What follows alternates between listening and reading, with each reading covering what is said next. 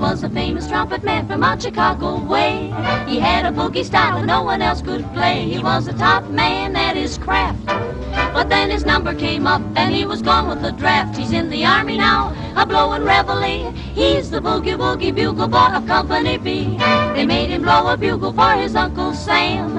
It really brought him down because he couldn't jam. The captain seemed to understand.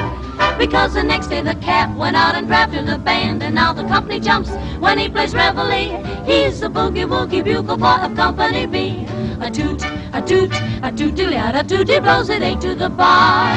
In boogie rhythm, he can't blow a note unless the bass and guitar is playing with him.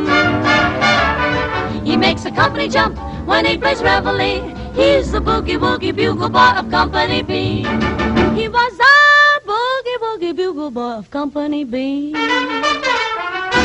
And when he plays boogie woogie bugle, he was busy as a bzzz bee. And when he plays, he makes the company jump ahead to the bar.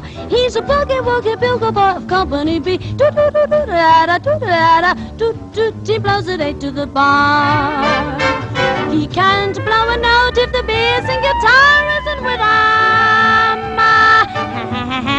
Jumps when he plays reveille. He's a boogie woogie bugle boy of Company B.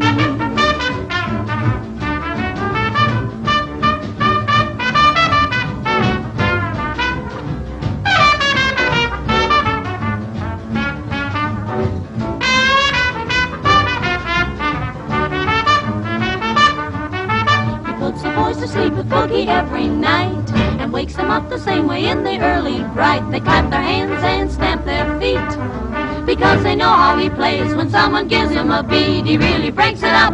When he plays reveille, he's the boogie woogie bugle boy of Company B. Da da da da da da.